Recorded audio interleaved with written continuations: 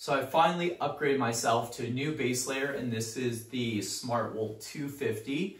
Um, uh, if you haven't used Smartwool before, it is like a wool material and it's super soft, super moisture wicking and allows you to stay dry, especially um, important during ski season, snowboard season, this upcoming winter. Highly suggest you check this out. I love these. I'm so happy after years and years of using my old uh, base layer that is finally able to upgrade to this and it fits perfect. Uh, this is size large. I'm 6'5", about 190 pounds, and this is how it fits. So it's plenty long in the arms, plenty long in the torso, and just fits overall girth really well. So if you're looking for a base layer, again, highly suggest you check this out. This is the best one I found.